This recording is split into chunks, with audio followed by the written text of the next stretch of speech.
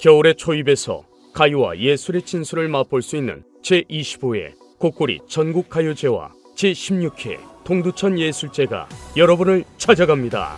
먼저 11월 12일 금요일 오후 3시 경기도 동두천 시민회관에서 펼쳐지는 곡고리 전국가요제는 황남춘, 향기의 사회로, 조영남, 문희호, 강민주, 서지호, 최시라, 류기진, 강철 등 인기 가수의 축하 무대와 차세대 K-팝 스타를 꿈꾸는 이들의 뜨거운 경연 무대가 펼쳐지고 11월 13일 토요일 오후 2시 역시 경기도 동두천 시민회관에서 펼쳐지는 제16회 동두천 예술제에는 지우와 위안의 신바람 콘서트라는 제목으로 동두천 예총 8개 단체 전시 및 미스트롯 윤태화 제이모닝의 앵두걸스의 공연이 마련되어 있습니다.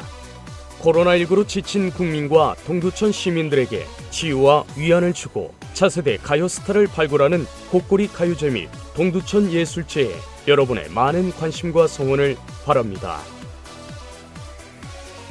이 프로그램은 경기도 동두천시 한국예총 동두천 지회 사단법인 한국연예예술인 총연합회 경기도 지회 사단법인 한국연예예술인 총연합회 동두천 지회 실버아이 TV가 함께합니다.